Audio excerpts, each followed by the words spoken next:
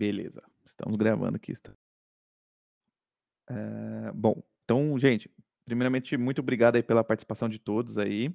É, esse é o nosso primeiro encontro da, nosso, da nossa comunidade aqui da CD Foundation aqui no Brasil, então espero que tenham muitos, muito mais encontros.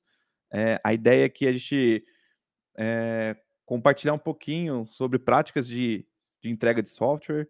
É, fiquem à vontade para utilizar o chat para fazer, fazer as perguntas com relação às apresentações. A gente está com a cara dela Marca aqui, que ela é uma das representantes também do CD Foundation, e ela vai dar uma introdução para a gente sobre o que, que é a CD Foundation, qual é o trabalho que a gente faz, e depois a gente já volta já para é, falar em português, tá? Então, muito obrigado aí pela participação de todos, fiquem bem à vontade aí na participação do chat, vamos interagir, e no final a gente pode trocar também umas ideias aí sobre como contribuir mais, é, os próximos meetups, né, quais assuntos que a gente pode conversar.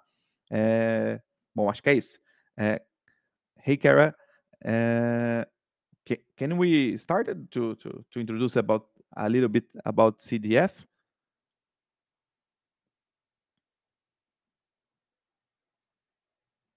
Uh, just a second. Kara?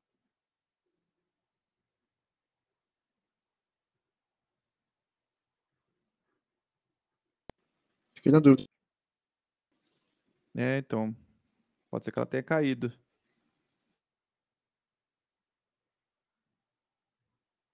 É, acho que ela caiu, ela reiniciou. Sem dúvida. Faz parte. O William gente. também ele entrou e saiu também. Aquela coisa, eventos ao vivo, né? Evento ainda por cima, então a gente está testando também a plataforma, está testando tudo, né? Como a gente está se comunicando. Ei, William.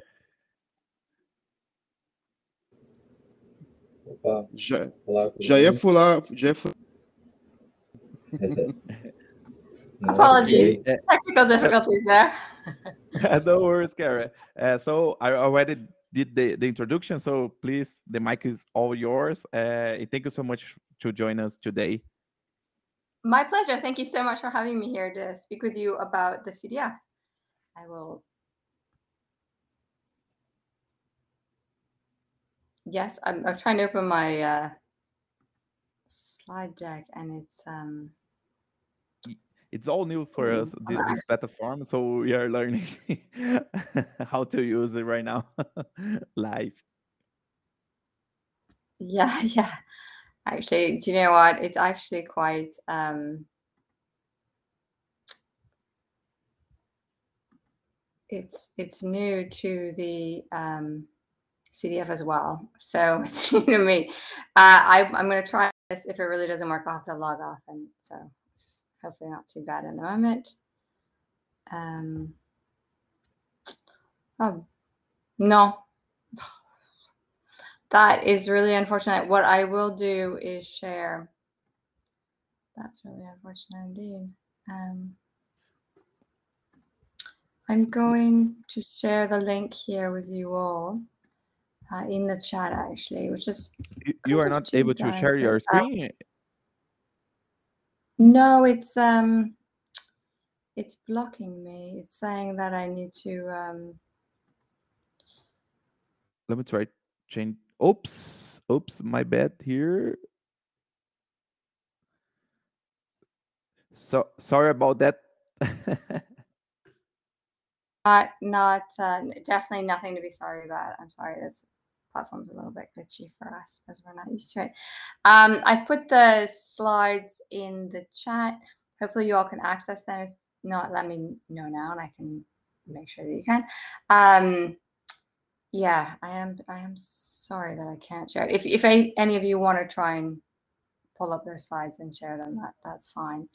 What is nice about the slide deck is it's full of links to um, the various programs we have available. So I'll just talk you through. Yeah, I, I request access to the file. I can share the screen.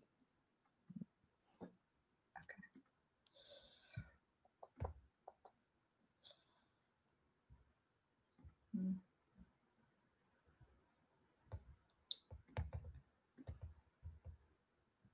Okay. I have now shared with you. Okay. Here we go. Which is, but um, but not the others because I just trying to. I will do so shortly.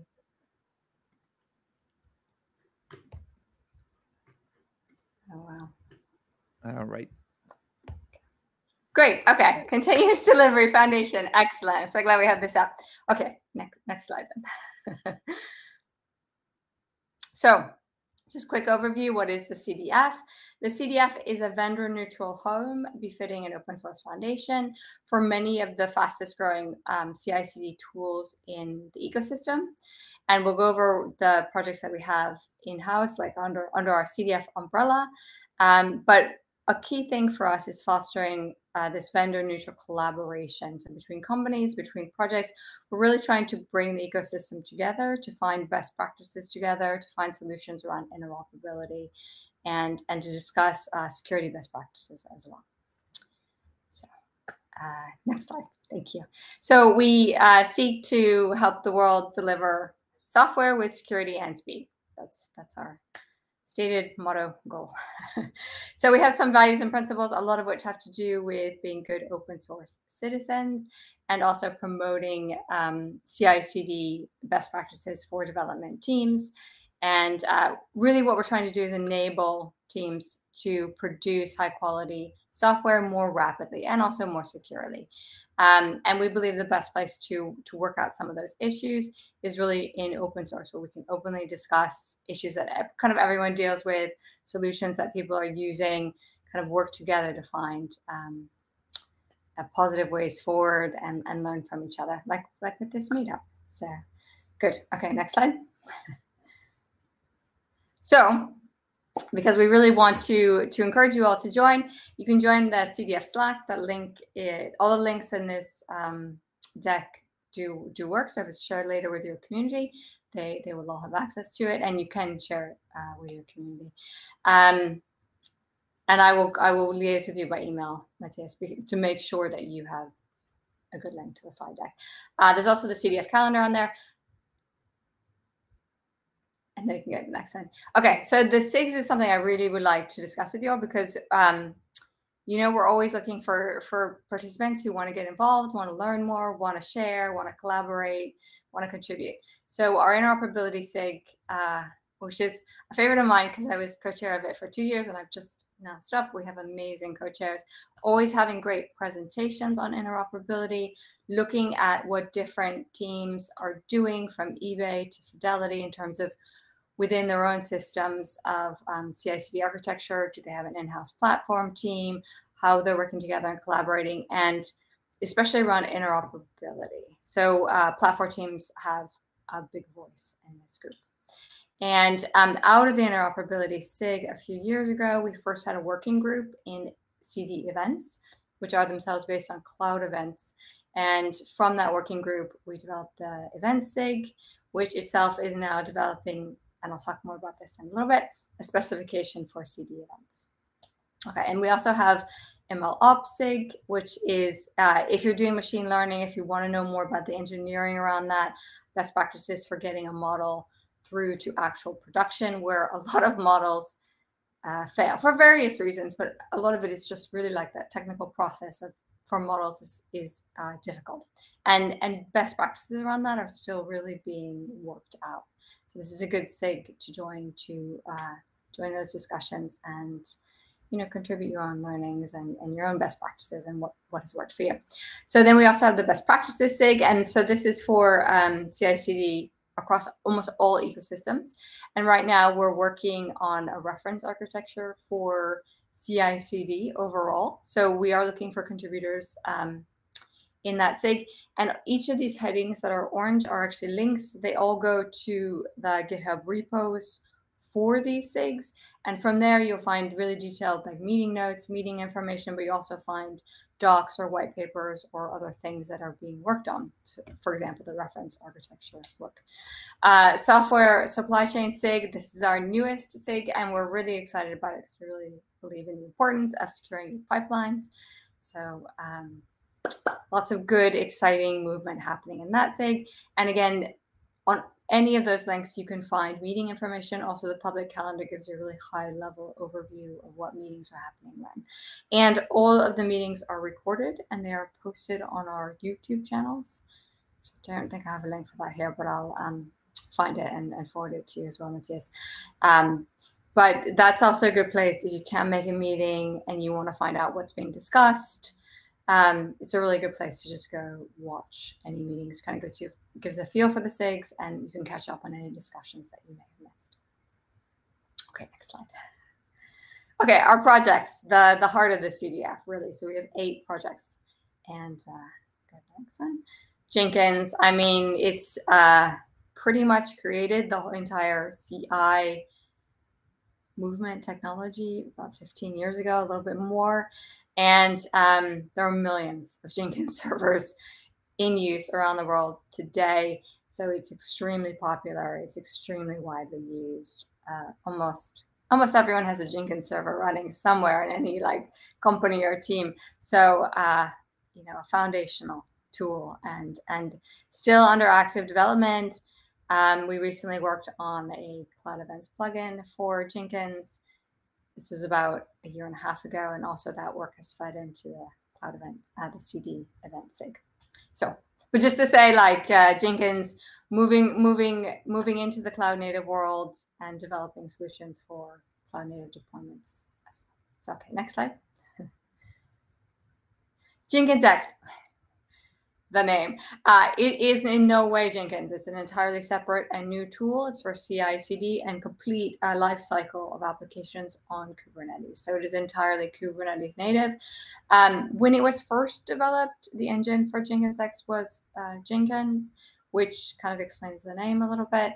Um, now the default engine is Tekton, actually, which we'll speak about in a minute. That's more because that, that Tekton as well is a CDF um, project. Next slide. Uh, Spinnaker, again, open source, a multi-cloud continuous delivery platform, another excellent CI/CD tool. Um, it was created at Netflix, but there we have a number of contributors um, from Argo. I mean, from um, OpsMX and Armory. So and and other and other companies, but those are some of our most involved contributors. Okay, next slide. Tekton. Okay. Tekton um, provides a number of building blocks. So it's less prescriptive than some of the other CI CD tools that we have uh, at the CDF, but it's extremely powerful for cloud native deployments.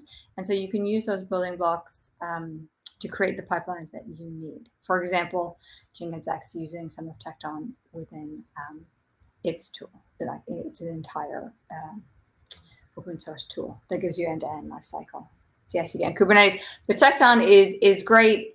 Um,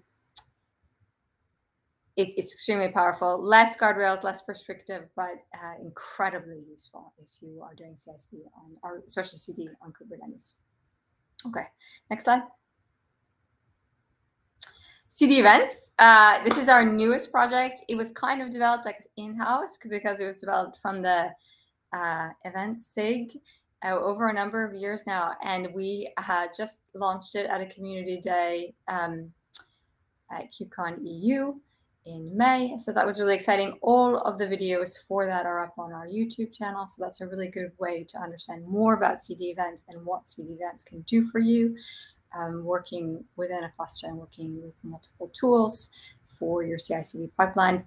This is under really active development. So and we are working on say uh, there's a go sdk but it's sort of in its first version so there's room to contribute there. Working on a python sdk working on a java sdk so if you really want to get your hands uh, on some code and contribute this is a, a great um, sig and project to join.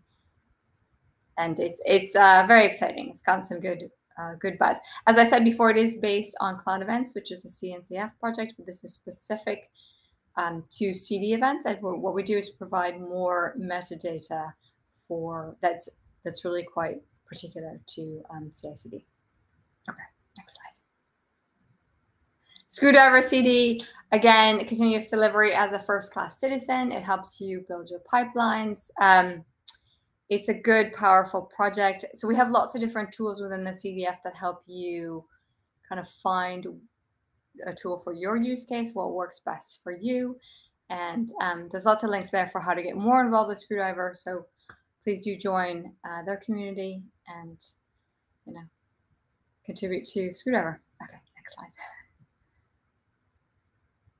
Artilius.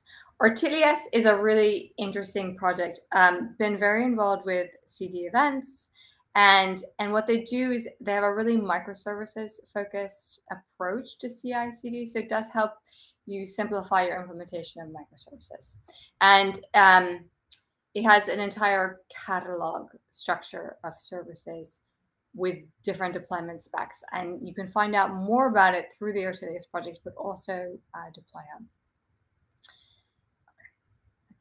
Shipwright. Okay, so Shipwright helps you build your container images um, on Kubernetes. So this is like it's a more more of a um, more of a narrow tool in many ways, but in that sense, it's like do that Linux philosophy of do one thing, do one thing very well. So um, Shipwright is excellent to use as part of a, a longer CI/CD process.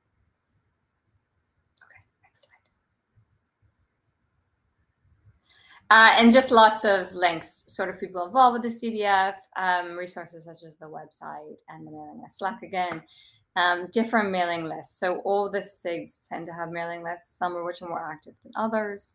Also, I should say all the SIGs are open.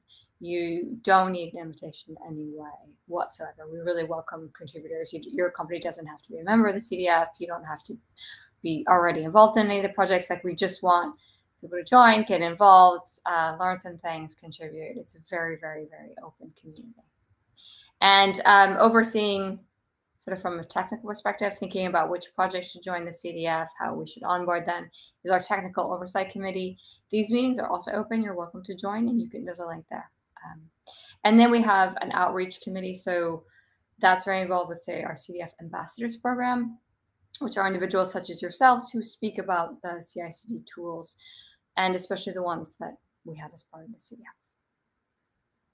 So if you have any questions for me, I'm happy to, uh, yeah, thank you to, to our supporting members, all these nice companies that um, help support the CDF. So doing good work there.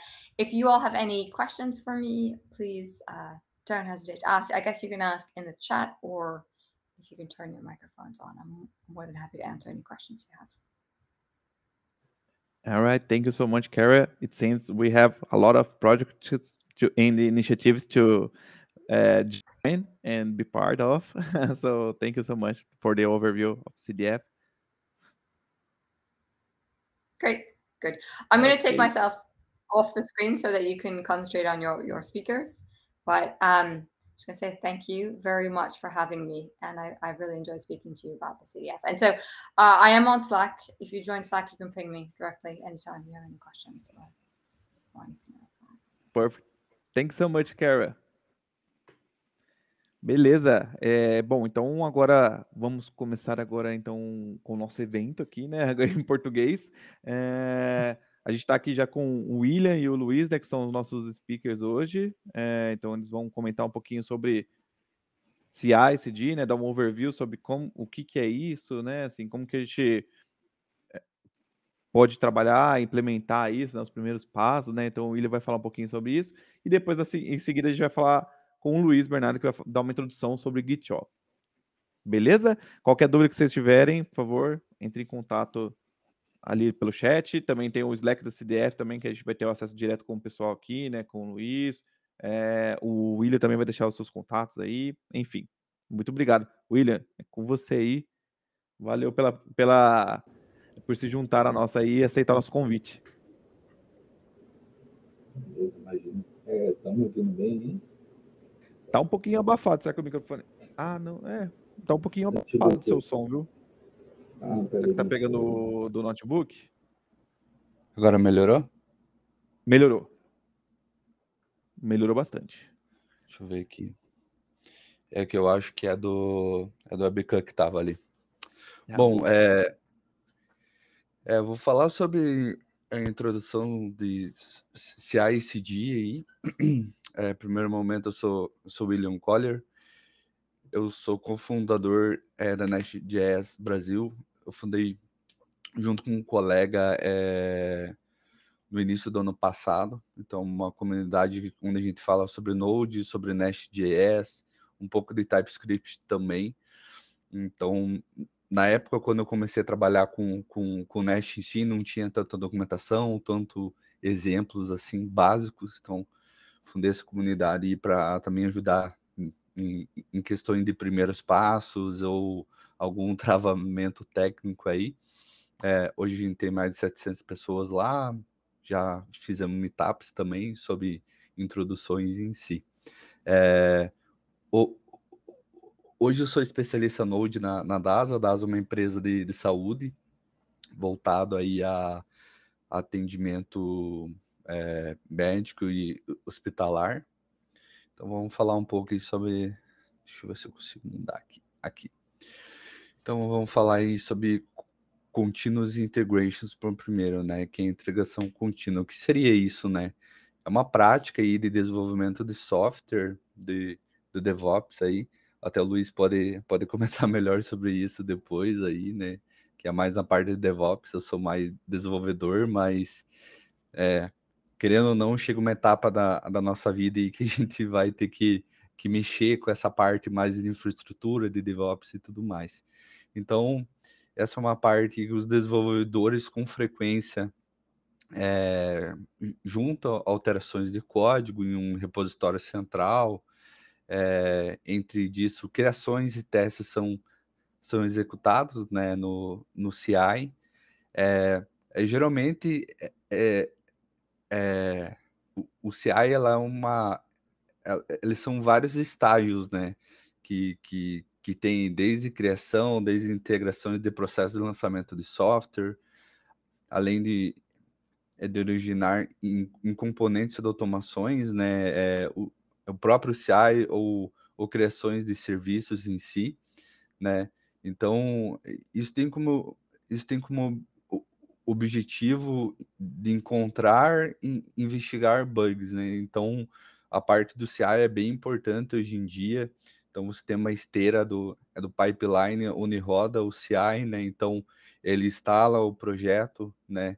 Isso no, no caso do GitHub ali, né? Do, do, do, do GitHub Actions. Então, você instala, né? Você faz checkout no, no, no projeto, você clona primeiro o, o repositório, depois você instala, de rola dos testes e tudo mais. Eu até te, eu trouxe um exemplo de, de, de, como que é também. Então, essa é uma etapa bem importante de você encontrar né, bugs e, e até você ter, ter uma qualidade melhor do código, né? Isso também ele reduz o tempo ali, né? Para você fazer validações e, e, e lançar novas atualizações de software, né? Vou passar aqui. É porque a, a integração contínua é necessária, né? Num passado aí não tão muito distante, os desenvolvedores, uma equipe poderiam né, é, é, desenvolver, né? Cada desenvolvedor é, desenvolvia uma, uma nova feature ou trabalhava em cima de um bug, né? Mas tudo em, em desenvolvimento isolado, né? Então essas alterações e que, que, ficavam em branches diferentes, né? É, eu tinha, eu tinha uma questão é, de muita dificuldade, né? Você desenvolve isso, mas você precisa juntar isso depois numa branch master, fazer um merge, alguma coisa assim, né? Então, quando você trabalha com várias pessoas, isso acaba tendo uma dificuldade maior, né? Então, essa dificuldade te, ela tem um custo também, né, para o desenvolvimento de software. Ele, ele acaba sendo mais, tendo mais dificuldade de mergear as coisas, porque a pessoa é responsável ali precisa entrar em contato com outros desenvolvedores para tirar a dúvida do que, que ele fez, dar conflito e tudo mais. Então, a, é, a necessidade do, do, do, do CI é para simplificar tudo isso, né? E como funciona né, a, a integração contínua, né? É, os desenvolvedores frequentemente confirma um, um, um, repositório compartilhado usando um sistema de, de controle de versão como o Git, né? Trabalha na ramificação das branches, né? Antes de, de cada confirmação, os desenvolvedores podem escolher e, e, e executar testes, né? De unidades locais e até teste de cobertura, né? De, de teste propriamente, né? Que é, que é no caso o coverage, né? Então, dá para verificar essas, essas camadas externas e até mesmo camadas de integrações, né? É, a gente tem como exemplo também um serviço de integração contínua, ele cria e executa automaticamente os testes de unidades nas novas alterações de código para descartar imediatamente todos os erros, né? Passar aqui. Eu trouxe um exemplo aqui também que, que a gente tem o CI, né? Então ele, ele tem uma, uma versão, né? Normalmente tem uma versão rodando ali em cima. Essa versão passa toda pela parte de, é de teste de integrações, né? Então aqui tá, tá como como itálico, né? A integração contínua é referente aos estágios de criação e teste do, do unidade do, do processo de lançamento do software. E cada versão confirmada só na criação e testes automatizados. Então aqui tem todo o ciclo, na verdade, né? Que é, que é o CI, que é o CD, e também tem o, o, o Continuous Deployment. Mas eu já vi em alguns projetos aí o Continuous Deployment ser o Continuous Delivery, né? Então ele acaba sendo a mesma coisa. Então tem todo o estágio ali, né? As alterações do commit, o build, é, fazer o deploy em staging e depois em produção.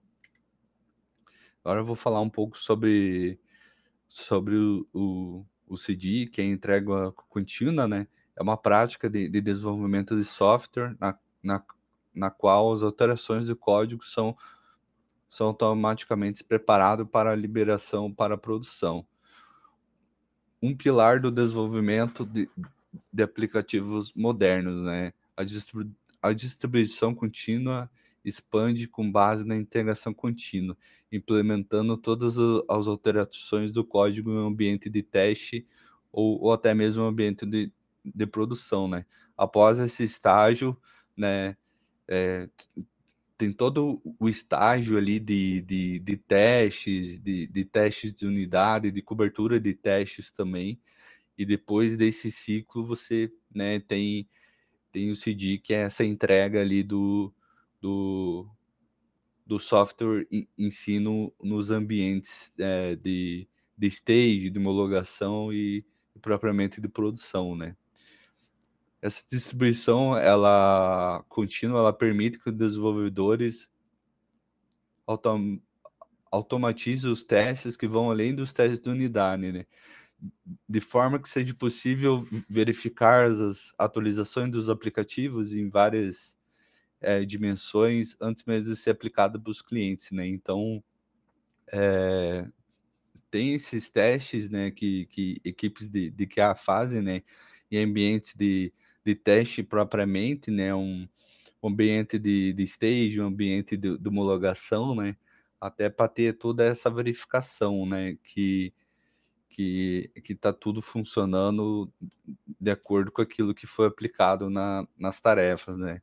Então, entre né, desses testes, entre teste de carga, de, de integração, confiabilidade, API, etc. Né? Tem vários testes em si.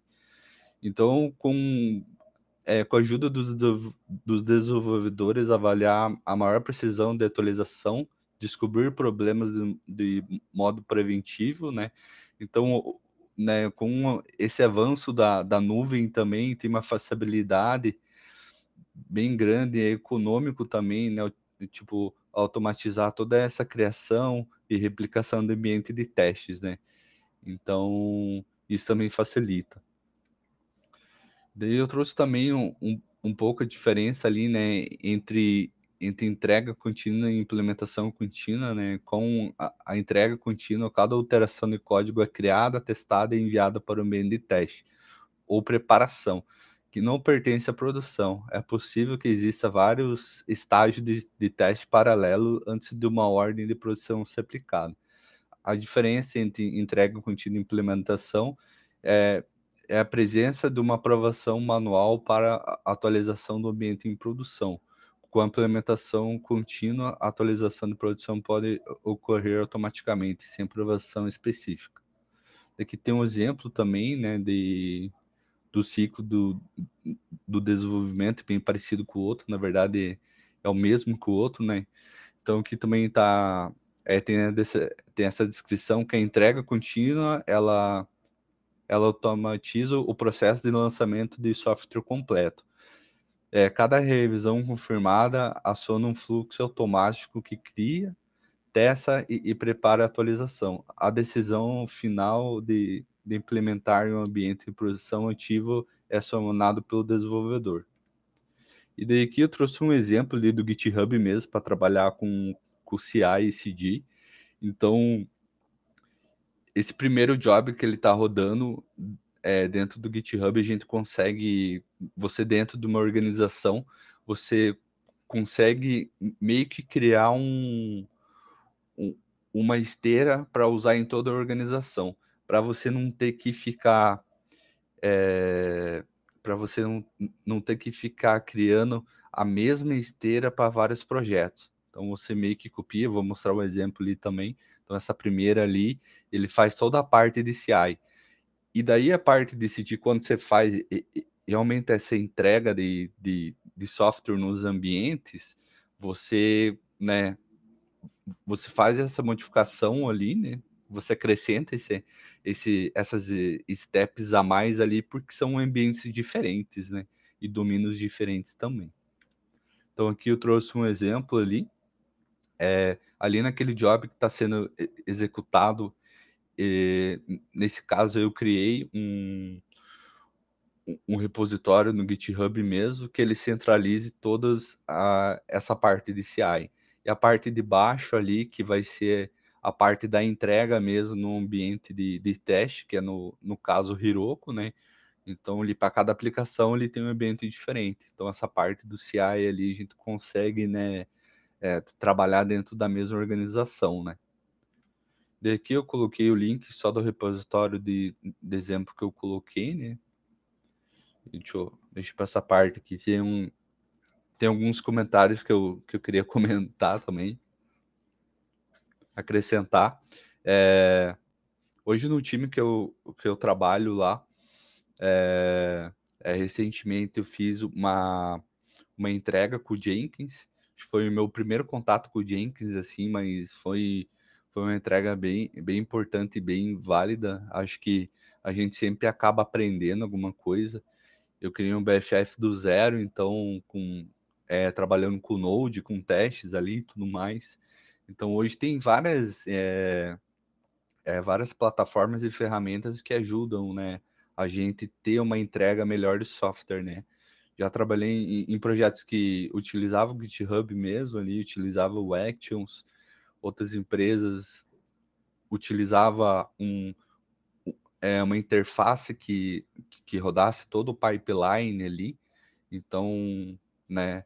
Mas hoje eu eu não pude né, tirar print da, né, dessas informações, porque é dentro da empresa, mas hoje a gente tem uma esteira que, que roda dentro do Jenkins, então tem todo a, um pipeline que roda lá, né, desde de parte de, ele faz o clone, ele roda os testes, é, ele roda o coverage também, a gente tem uma configuração global para ele atingir 95% também, se ele não atingir 95% da, da cobertura dos testes, ele barra. A gente tem o Sonar Cub também que, que ele roda lá para ver se, se não tem algum código duplicado. Então a gente aplica algumas regras lá também, que é um ponto interessante. A gente também tem um cara que se chama Fortify, ele que meio que, que ajuda a gente a receber o PPR da, da, da, da empresa em si, então a gente tem que atingir 120% disso, né? A gente atingindo questão de segurança, qualidade de código, a gente a gente ganha esse, esse PPR, mas a gente utiliza o Fortify para fazer essa esse filtro. Então ele mostra toda a questão assim de, é, de ferramentas que tem vulnerabilidade, então as versões, então a gente tem que atualizar as versões e sempre ficar de olho lá. Então o ambiente de homologação, o ambiente de dev, ele sempre mostra essas informações para a gente. Então esses são pontos bem interessantes de utilizando o Jenkins também, né? Então é, quis trazer isso para é, só para finalizar mesmo. Não sei se eu se eu falei muito rápido, eu acabo falando muito rápido. Não, tranquilo, cara. Foi muito boa a apresentação assim. William. Cara, e acho que tem um ponto bem legal assim, quando a gente começa a utilizar o CI ali, né? Assim, é a questão também de dar um, um feedback mais rápido para a pessoa desenvolvedora ali, né? Assim, quando você está integrando o código lá com Sim, exatamente. todas as outras brands lá, como que funciona o todo ali, né? Assim, né? Então acho que é, é, tem um benefício bem bacana que você comentou ali no, no comecinho, né? Sim. Não, tem um negócio muito importante também. A gente faz assim lá, a gente não faz para todos os ambientes, né? Mas que nem o Jenkins lá, a gente. Se, se, todo o processo, em, em, alguma etapa, ele, ele falha, a gente envia uma notificação num canal específico lá do Slack dizendo que a build quebrou, né? Então a gente também notifica é, essa parte ali do, do, do deploy em si, né? Então é um ponto bem, bem importante a gente ter essas notificações, porque senão né, acontece aquilo. Alguns deploys são demorados, né? Demora, sei lá, 15, 18 minutos, porque faz todo um, uma esteira e, e, e, é um processo demorado, né? Instalar, rodar todos os testes. Eu rodei um teste, né? Um teste total hoje na minha máquina que rodou mais de 600 testes. Então, assim, é um, é um processo muito longo, né? Então não adianta deixar o desenvolvedor, a pessoa que fez o deploy lá, é, travado na tela, né? Ele vai fazer outras coisas e daí tem essa notificação no Slack ali que é bem, que é bem importante e bem válido, né? Muito bom, maravilha, William. Cara, é... acho que se alguém tiver alguma dúvida, né, pode deixar aqui no chat aqui, que depois a gente pode ir respondendo assim que aqui, né, né pelo chat e para a gente manter o, nosso time box aqui, a gente segue, mas muito obrigado mesmo, William, pela sua participação aí. É, Não, imagina, obrigado a vocês aí pelo. Obrigado por ter aceitado o convite. E volte mais, mais vezes aqui para compartilhar o conhecimento, tá, cara? Assim, é muito bom mesmo. Ah, não, até eu até ia comentar sobre um assunto ali que, que eu acabei eu acabei. Tipo, envolve um pouco isso também, mas, né, eu posso até comentar sobre o tema para trazer próximas vezes. Eu fiz uma apresentação lá, lá no quinto andar que era sobre deploy, que era o Blue Green Deployment e o Canary Release, então são temas bem, bem importantes aí, né, para a gente não, não barrar os deploys, né. Às vezes você tem aplicativos ou ferramentas dentro da empresa que você entrega esse software novo, né, essas features e tudo mais, e que você precisa fazer deploy à noite, né? E ninguém quer ficar fazendo deploy à noite, que é um negócio meio chato, né? Às vezes quebra alguma coisa de, de algum outro projeto que, que você tem que, que executar como microserviço e tudo mais, né? Então esses são, são temas bem interessantes aí, na época eu dei uma estudada, é um, é um tema muito bom, porque né, no, no Blue Green Deployment ali você consegue é, entregar novas features, né? Ele é um pouco mais custoso porque você precisa ter dois ambientes né, iguais ali. Então você faz os deploys e tudo mais. Daí você tem, né? Dá para dá para fazer teste AB e tudo mais. Então acaba sendo um pouco mais custoso, né? Mas também é uma solução. E daí quando você, né? Ele é blue green, né? Então quando né, você sobe, as pessoas testam, está validado, você atualiza o outro ambiente, né? Então são dois ambientes de réplica. E o Canary Release é aquilo, né? Você consegue você consegue entregar o software para uma quantidade X de pessoas. Vamos dar exemplo, 5% da, da, da aplicação ali vai ter acesso àquela nova feature, né? Para não, não impactar todo mundo que está usando. Então, pode ser pessoas que têm a o início do CPF zero, sexo masculino e feminino, dá para você meio que filtrar por idade também. Então, é um, é um tema bem importante, bem interessante também, né, para a gente estar tá falando um futuro aí. Já fica, já, tem, já temos ideia já para o próximo, pro próximo encontro, né? Falar de estratégias de deploy. Sim, já fica lição de casa, como diz, né? Exato, já tem uma liçãozinha de casa aí. William, brigadão mesmo, cara. É, e as portas estão abertas aí. Imagina, é... muito obrigado a vocês aí. Valeu.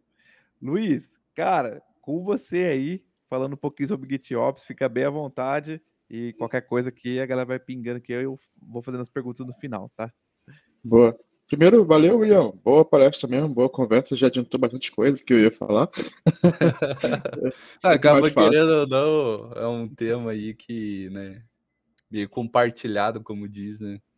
Com certeza, com certeza. Boa. É, vou compartilhar aqui minha tela.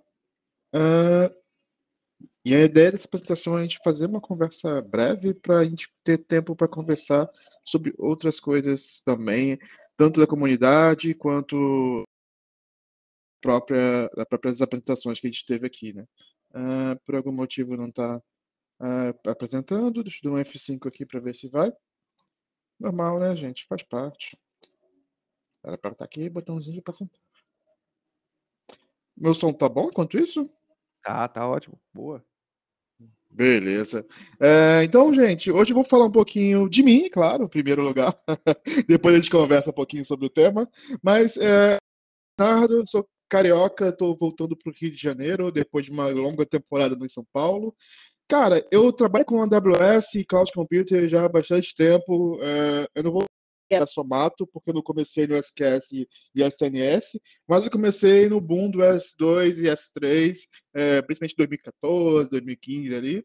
É, hoje eu sou uma pessoa que fica se estressando com Terraform, HashiCorp e outras ferramentas de infraestrutura como código, mas é, eu não, não, consigo viver sem hoje em dia, né? Achei super, super da hora essa, esse Uh, hoje eu também estou como sênior no DevOps Engineer no N-Market, que é um hub de integração de varejo.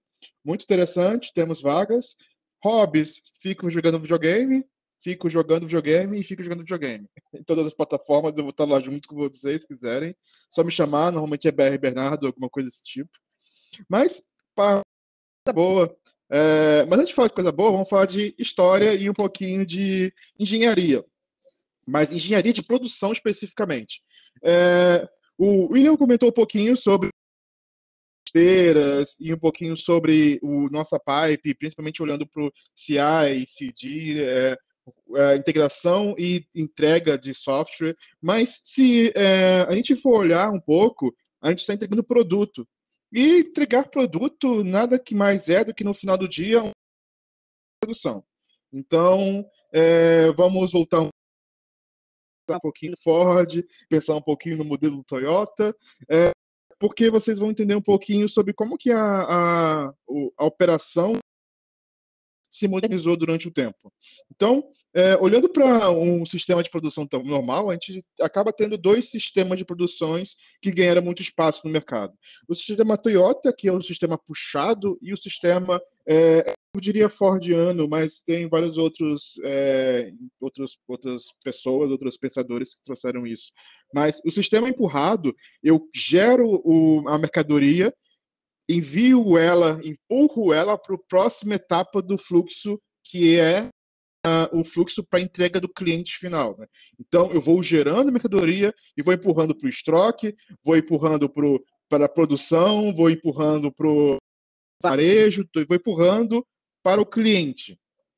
E veja que isso, você, é, na teoria das filas, você tem vários problemas. Por exemplo, como o próprio estoque é um, um custoso, o próprio é, a forma com que a gente trabalha versus é, escassez e oferta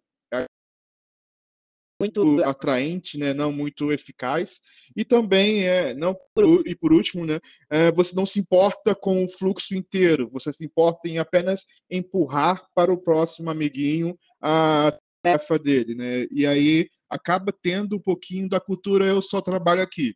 E a gente já aprendeu um pouquinho que essa cultura não funciona muito bem, principalmente olhando para sistemas e desenvolvimento de sistemas. Né?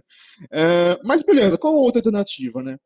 É, outra alternativa é a gente pensar um pouco com o sistema puxado, que é eu tenho uma demanda e eu atendo aquela demanda específica. e é, toda a cadeia de demandas elas vão se atendendo de acordo com a necessidade daquela demanda. É, falei, falei, mas não falei nada. Mas vamos falar um pouquinho melhor, então.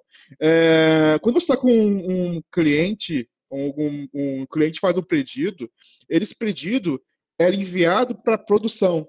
E só nesse momento esse pedido é produzido. É como se você fosse pedir uma entrega de comida. É, ele normalmente não se faz a comida antes de ser solicitado da comida, né?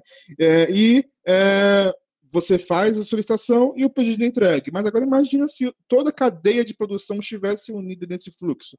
E aí, quando você faz o pedido, o pedido não vai só para o produtor, mas para o fornecedor dele.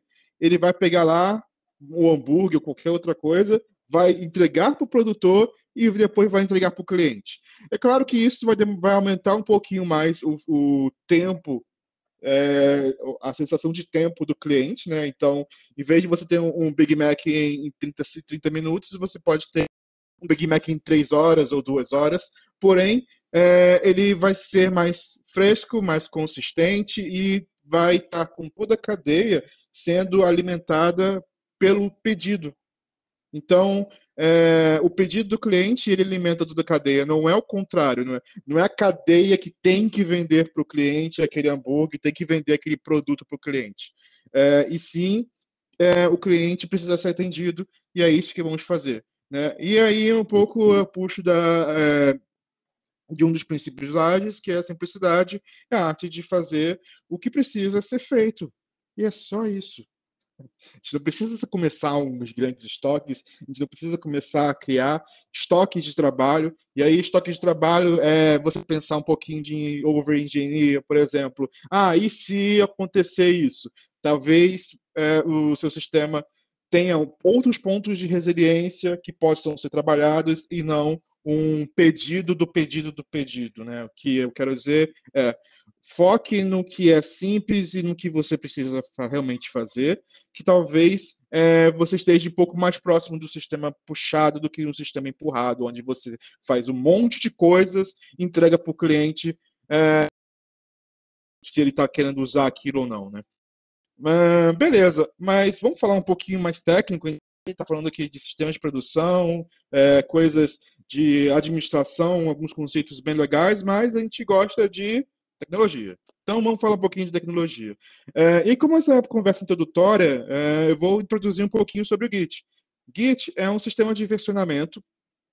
E o que é um sistema de versionamento? É, eu acho que a maioria das pessoas, pelo menos, já tiveram uma experiência no colégio de criar versão 1, versão 2, versão 3 de um mesmo documento.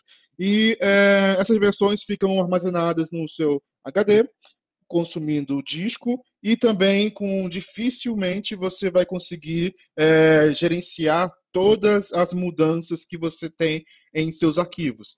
E aí o Git de controle de versão, ele gerencia as mudanças do arquivo e não mais agora o arquivo como um todo. O arquivo permanece o mesmo e as mudanças desse arquivo elas são registradas e passam a pertencer a esse arquivo. Né? E aí é, esse sistema ele começou porque o Linus Torvalds estava um pouco chateado da com a forma com que o kernel do Linux estava é, armazenado em um projeto open source. Então, eu, beleza, eu vou fazer uma outra forma de se trabalhar e foi aí que nasceu o nosso pequeno Git. É, e aí o Git tem, se, tem avançado de várias formas, outras plataformas estão incorporam não só o Git, mas também outras funcionalidades.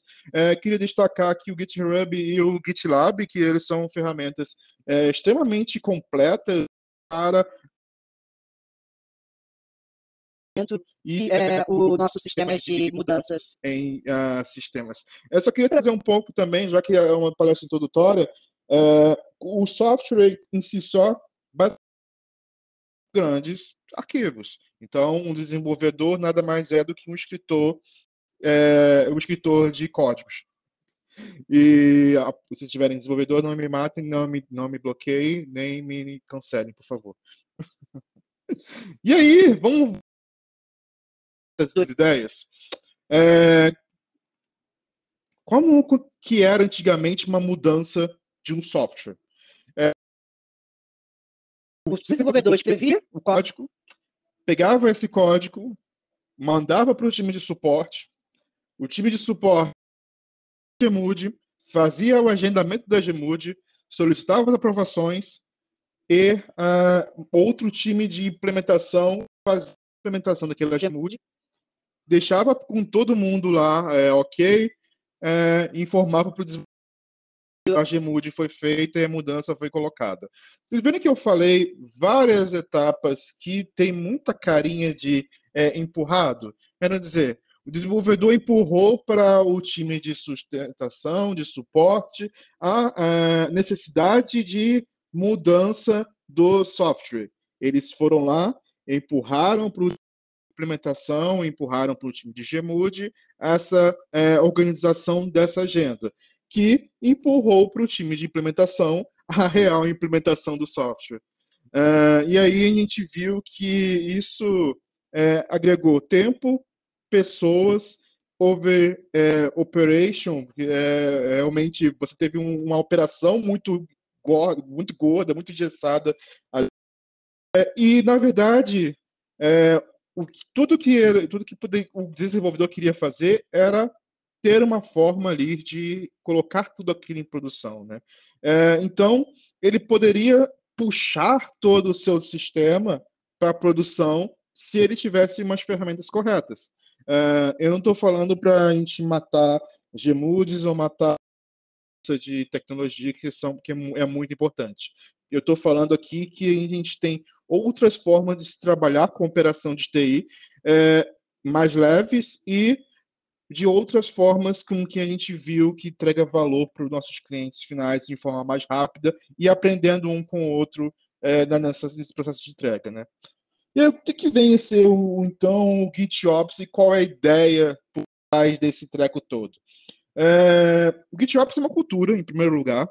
Então, é, como cultura, ele traz a ideia de o Git deve ser uma ferramenta de versionamento e deve ser o ponto principal para a experiência do desenvolvedor para operar a infraestrutura.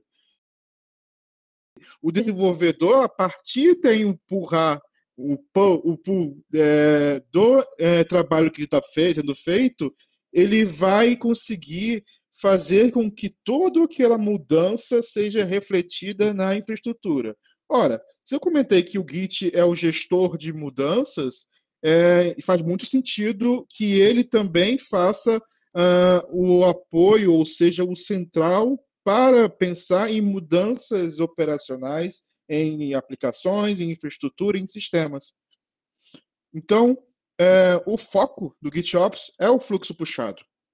E é o fluxo puxado pelo próprio desenvolvedor e é, ele vai passar por todas as etapas, vai passar por todos os elementos de desenvolvimento, desenvolvimento governança da organização e principalmente ele vai ter a responsabilidade com autonomia que a gente prega tanto em movimentos ágeis e DevOps. Uh, esse aqui é o livrinho que a gente tem de GitOps, ele foi feito por uma empresa específica, que eu vou falar um pouquinho depois, mas é, ele é, foi um conceito que foi tra trago pela é, é, essa comunidade e tem ganhado bastante força. Bom, vamos falar na prática como é que funciona, então. É, eu vou ter lá dois, dois, dois arquivos, né? É, um arquivo específico, né? Agrupamento de arquivos, né? Com de versões. Do aplicação, outro focando em configurações de é, ambiente, configurações de cluster, configuração de infraestrutura. Ambos eles vão estar versionados no Git, né? não necessariamente no mesmo repositório. Recomendo que não seja no mesmo repositório, porque acaba que quando você faz uma mudança na aplicação, necessariamente você pode ter que fazer uma mudança na infraestrutura, mas é, muitas vezes isso não é uma regra. Então, às vezes você precisa fazer uma mudança na infraestrutura e não na, na aplicação, e uma mudança na aplicação sem ter que afetar a infraestrutura e está tudo certo. Mas o que eu queria trazer é uh, tanto a mudança de aplicação quanto a mudança de infraestrutura são versionadas do Git e a partir dele é disparado todo o processo de CI/CD que o nosso amigo William comentou antes. É, então é feito o registry, é feito o, o artefato do sistema, e aí pensando em Java ou qualquer outro elemento que gera artefatos, é, é feito o artefato, é, é passado por toda a esteira e é, ele é enviado sistema de CD, que a Carol falou um pouquinho, que é nosso Jenkins, o Flux, entre outros sistemas de, de CD que fazem é, essa interação entre o que precisa de fazer de mudança com o nosso sistema de produção de fato. É, e aí eu queria trazer quatro princípios que norteiam e que vai é, fechar aqui e trazer um pouquinho de sentido a mais. Né? O primeiro é todo o sistema deve ser descrito de forma declarativa. Isso é, antes a gente tinha duas formas de se escrever infraestrutura. Uma forma era, era declarativa, onde você declara a intenção do que você quer. Por exemplo, é, você quer uma instância de type, type 2 do, da AWS, ou você quer uma uh, VPC, e, é, e, e, a outra forma é a forma é, imperativa, onde você precisa fazer as receitas passo a passo e usar essas receitas de forma imperativa, faça exatamente isso aqui. É, e a gente tem ferramentas como Puppet, Ansible, Chef, que usavam a forma imperativa com muita força. Qual é a vantagem da forma declarativa? Além de ser uma escrita mais leve e ter a indepotência do código, ele não precisa tombado ali é, todas as informações do seu sistema, da sua aplicação de, de infraestrutura ou qualquer outro elemento, você tem a, a possibilidade de reutilização e é, modularização da própria infraestrutura. Então, é, declarativa first, bem bom para todo mundo. O outro ponto é o estado do sistema desejado deve ser, deve ser versionado no Git. É, pensa o seguinte, você tem uma máquina, você começa a fazer configurações em cima dessa máquina e é, você precisa fazer uma migração ou então destruir essa máquina e recriar essa máquina. Se você não tiver com todas as mudanças descritivas de uma forma é, versionada, certamente você vai ter grandes dores de cabeça para fazer uma nova versão, vasculhar o que tem ali naquele servidor e é, subir tudo de novo. E é, o GitOps é, um, é, uma prática que traz essa ideia de vamos declarar, versionar, para que tudo seja é, indepotente e imutável. E a gente consiga destruir tudo e construir tudo de uma forma leve. Né? Uh, alterações devem ser aprovadas é, e implementadas automaticamente. É, lembra que eu falei que a governança continua? Sim, a governança continua. Então, você pode, por exemplo, ter o seu ambiente de desenvolvimento, homologação e produção separadinho, bonitinho. E é, a diferença é que, com uma pequena aprovação de alguém, algum gestor, ou produto owner, ou alguma pessoa responsável pelo produto tecnicamente, é, toda aquela esteira já começa o processo para a próxima etapa. Não precisa abrir uma Gemude para produção. É, não precisa você fazer uma mudança muito drástica no seu trabalho. É, ele vai pegar o que tem homologação e replicar isso para produção. Né? E, por último, dos princípios, ele deve ter mecanismos para garantir a correção e alertas de divergências. É um pouquinho do que o William falou sobre Canary Deployment, Blue-Green Deployment, é, onde você faz o deploy de uma mudança, a mudança em produção e é, você vai ser alertado sobre qualquer problema, correção, normalmente no Slack ou qualquer outra plataforma, e também, se tiver algum erro, ele pode se recuperar automaticamente pegando a versão mais estável do próprio repositório que ele tinha. Então, é, eu fiz um deploy e quebrou a imagem do, de alguma aplicação em produção ele vai identificar aquilo e voltar todo o processo. E aí você faz através de Bloom Deploy ou Canary Deploy ou qualquer outro fluxo de deployment que você esteja trabalhando. Mas é muito importante para é, a gente manter o cliente é, em uma qualidade de excelência que a gente espera, né? E, é, por último, eu queria trazer para vocês a, o, a, o guide da Wavesworks, que foi a empresa desse movimento cultural que tem ganho espaço em todo o.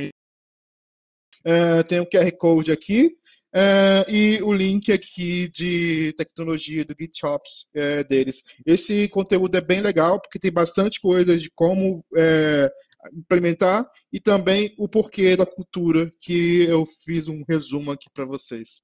Espero que tenham gostado, e é isso que eu tinha para trazer palestrinha, e eu estou aqui para conversar um pouquinho mais com vocês sobre isso. Muito obrigado. É, você prefere... Eu acabei não perguntando pra você, você prefere que chame de Luiz ou de Bernardo? Cara, eu tô usando Bernardo ultimamente, mas boa. então, muito obrigado, viu, Bernardo, cara, pela apresentação aí. Show de bola mesmo. O Bruno até mandou uma mensagem aqui perguntando sobre o link do livro, né? Então o Collor já respondeu. Obrigado, Bruno. Valeu mesmo pela presença aí, cara. Te encontro nos próximos meetups aí, hein? Um abração. É... E, cara, acho que você, como, eh, você comentou que GitOps é uma cultura, assim, assim, como que emerge a necessidade ali, assim, tudo bem que você comentou, assim, com relação à, à questão de manter versionado o sistema como um todo e tudo mais, assim, uhum. assim, né? Mas como que a gente, qual que são os primeiros passos para a gente começar a vender mais essa cultura de GitOps para os times de tecnologia, né? Então, como que uhum. você sugere que a gente comece? É, qual que é o passo um? Boa. Eu diria que primeiro é a dor. Qual dor e qual problema que você quer resolver? Eu quero, vou falar mais especificamente da dor do que o GitOps ajuda. Cara, você demora uh, três semanas para fazer uma implementação em produção do que já está pronto? Talvez seja um bom momento de a gente começar a discutir sobre melhores práticas nesse deployment, nesse, nessa entrega de produto. Maravilha. Fui sucinto, mas ele, é, ele é, é, elegante. Vou falar um pouquinho mais carioquês. Cara, quando começar a dar merda é, e você começar a ter que fazer é, chef pick, começar a ter que fazer branch da branch, começar a, a ter que fazer um monte de ruetas em Git, é certamente porque tá com alguma prática de Git errada ali, irmão, e você precisa rever. Aí até mesmo aquele é o é utilizar o Git mesmo, né, propriamente do jeito correto, né? Que nem tem uhum. o Git Flow lá, né? Acho que é Daniel, não sei do que lá, eu não lembro o nome do acho que é um blog lá que ele explica, né, utilizar o Git da, da, família, da, da forma correta, né? Trabalhar com hotfix, releases e tudo mais, né? Você ter uma branch mesmo de desenvolvimento, porque isso acaba facilitando também, né? E não uhum. não como se diz não ter né uma branch de, de como se diz? Uma branch que você jogue tudo lá né? Eu não vou dar exemplo de uma empresa mas eu trabalhei num lugar que tinha uma branch lá que nossa sempre tinha que fazer rebase assim sabe? Sempre sempre sempre porque muita gente trabalhava no, no projeto então é meio complicado, assim, sabe? Tinha que fazer rebase, e você não sabia muito bem, né, até onde você podia voltar também, porque tinha implementação de outras pessoas também. Então acho que acho que essa cultura de, é de GitOps tem esses problemas diários, na verdade, né? De, de uhum. conflito em Brent e tudo mais, muita gente trabalhando junto também, né? Isso acaba sendo natural, né? Mas acho importante as empresas, os times sempre estar tá alinhado com isso, né? E aí, é, eu sempre me pergunto a que nível pode, podemos ter problemas em versionamento. E aí eu vou falar de uma experiência que eu tive com um cliente, né? É, um banco, um dos maiores bancos do Brasil, é, me mandou uma mensagem falando para eu voltar à versão do meu aplicativo. Nossa. Que, doideira, Complicado.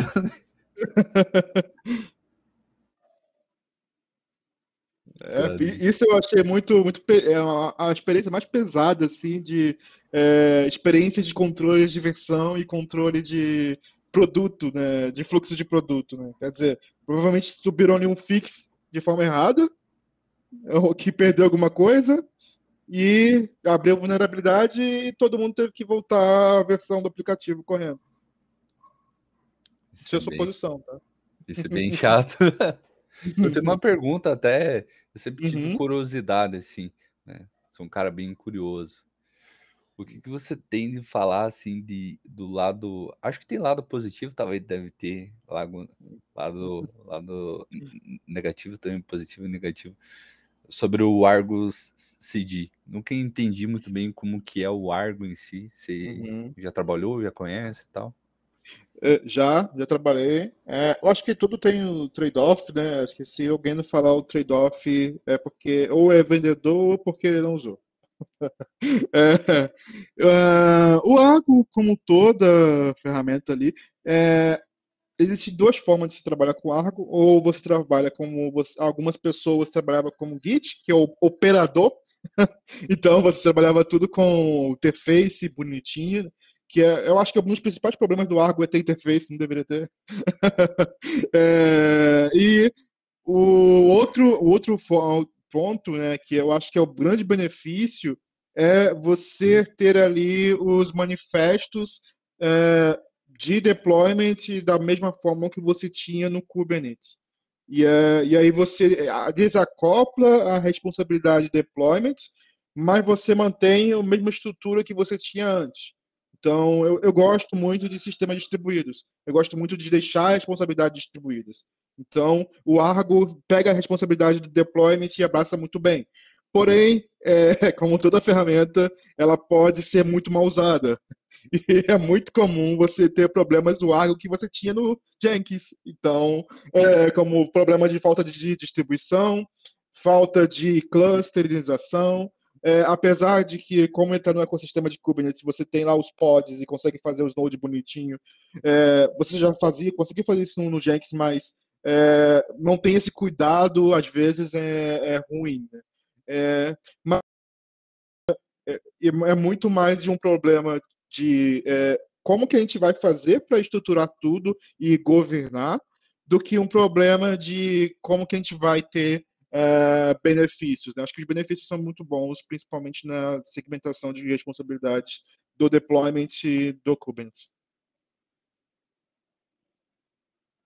Bacana, respondido. Ah, até me atravessei, Matheus, na sua curiosidade mesmo. A ideia é realmente, assim, a, é, a gente bater esse papo mesmo, tá? Assim, é, é, é essa a intenção. o, o Bernardo, aproveitando também, você, é, você comentou também um pouquinho sobre o processo de Gemood e tudo mais, é que tem formas de serem trabalhadas, aí você comentou de banco também, né, que são ambientes altamente regulados ali, tem muitas regras de regulatório ali para a gente seguir. É... A, o processo de coletando um pouquinho, né, o que, que o William Coller falou sobre a introdução de CSD, o quanto que é importante isso, né, ali para a gente validar e garantir a qualidade do código ali, rodando os testes, tudo mais, uma vez que você tem uma esteira madura o suficiente ali, né? Acho que entra a parte do GitOps ali, da gente desburocratizar um pouquinho mais o processo de Gmood, né? Assim, talvez não precise tanto de N aprovadores, né, para fazer uma mudança em produção, né? Assim, que você acha que o GitOps ajuda, assim, a maturidade da, juntando né, CI/CD mais GitOps ali deve ajudar na, na maturidade do processo ali, a gente tirar algumas barreiras de Gemut que hoje algumas empresas em, enfrentam? Eu vou falar um pouquinho da minha experiência com Gemutes e falar um pouquinho da solução que o GitOps traz. É, um dos problemas que eu tenho, que eu tinha, era plataformas que não tinham muita clareza de quem eram os aprovadores. Então eu tinha que ficar correndo atrás de quem aprovava o quê, quem é responsável do quê. Quando você tem pelo menos um fluxo onde os aprovadores são daquele projeto, daquele sistema, em uma ferramenta e ela já dispara para todo mundo que tem que aprovar e faz o, o webhook de leitura de tudo, é muito mais interessante, mesmo com o fluxo de, de 50 aprovadores, né? porque eu, pelo menos eu não preciso mais ficar correndo atrás. eu, eu sei com quem eu tenho que falar e eu sei que eles vão e eu sei que eles vão devolver ali, e eu sei que vão, ah, o sistema vai ler com webhookzinho, e vai estar tudo ok. Então, mesmo com um sistema de Gmood complexo, você tem um ganho olhando para o fluxo de versão do Git é, como ferramenta de ATSM também.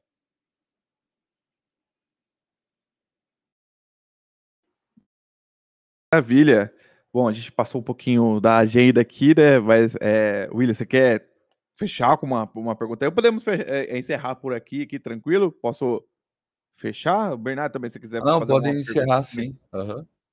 Eu fico bem feliz a gente começar finalmente esse projeto. A gente tá, eu, o Matheus e o Guto, a gente está conversando já há um monte de tempo.